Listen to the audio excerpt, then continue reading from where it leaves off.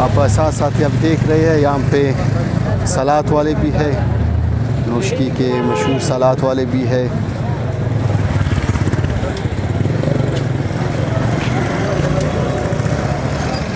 अभी असर का टाइम है, लोग असर का नमाज़ पढ़ने के बाद बाज़ार का रुख कर लेते हैं और ख़रीदारी के लिए आते हैं।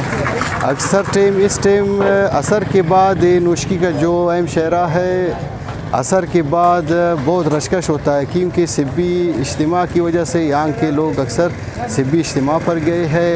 अल्हम्दुलिल्लाह, आज सिब्बी इज्तम का दुआ भी हो गया, इज्तम अख्ताम पजीर भी हो गया और लोग आज इन नोशकी के लोग वापस पहुँच जाएँगे। नुश्की की बड़ी तादाद में इज्तमाओं में जाते हैं। जी वीवर्स मैं आपको बताऊँ, नोशकी को एक एज़ाज़ हासिल है। यहाँ पर सिर्फ़ तबलीगी जमात है। यहाँ पर कोई फ़िक्र नहीं है। यहाँ पर सिर्फ़ तबलीगी लोग हैं, दीनदार लोग हैं, अपना कारोबार कर लेते हैं।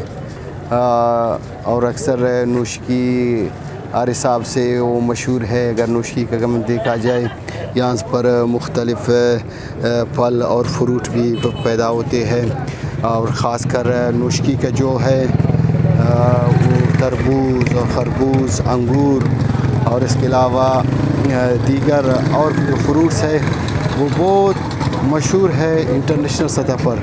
उनकी मार्केट है, ख़ासकर तरबूज और खरबूज का। यहाँ पर अनार भी होता है। ये हम देख रहे हैं, लोगों का हजूम आस्ता आस्ता बढ़ रहा है।